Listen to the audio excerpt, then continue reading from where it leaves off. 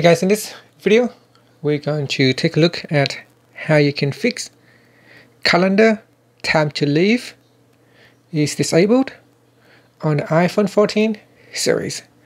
So first, let's go back to the home screen by swiping up at the bottom of the screen. From the home screen, tap on settings. Then in settings, go down and tap on privacy and security.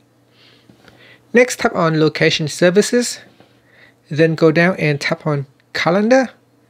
In here, tap on while using the app or ask next time or when I share. So I'm going to select while using the app and then tap on precise location and make sure it is turned on. You will need this if you want that feature to uh, becomes enabled. Now if you go back into uh, settings, then we go down and tap on calendar and we go down and tap on default alert times.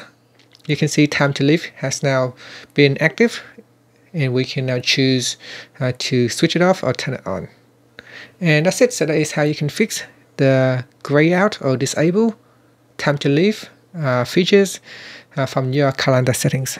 Thank you for watching this video. Please subscribe to my channel for more videos